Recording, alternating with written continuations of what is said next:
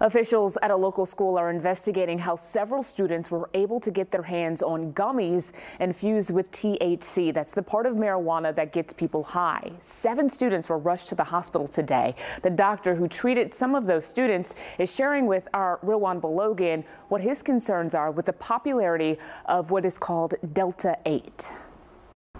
Delta 8 is from marijuana, but much less potent than THC. And it's really popular, grown in popularity regularly, can be bought pretty much anywhere. But the thing most people don't realize, like it says on the back of this bag here, it is not an FDA approved product. We had several patients come yesterday after being exposed to what is presumably Delta 8 THC gummy. The problem is we don't really know what they took.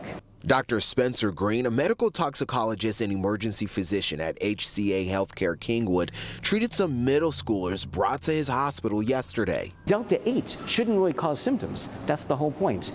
Unless you take a massive amount. Green wants to bring more attention to the wildly popular Delta 8.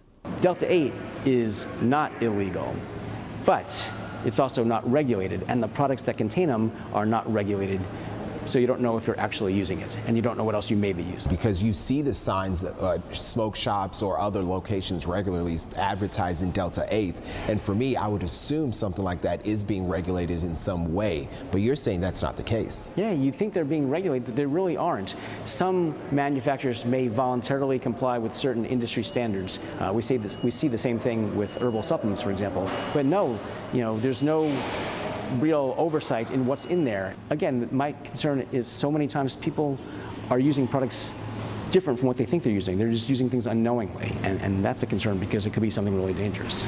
New Caney ISD police investigating, trying to figure out exactly how and where these students got these gummies from. And Dr. Green says this is a good time to talk to your children about drug use.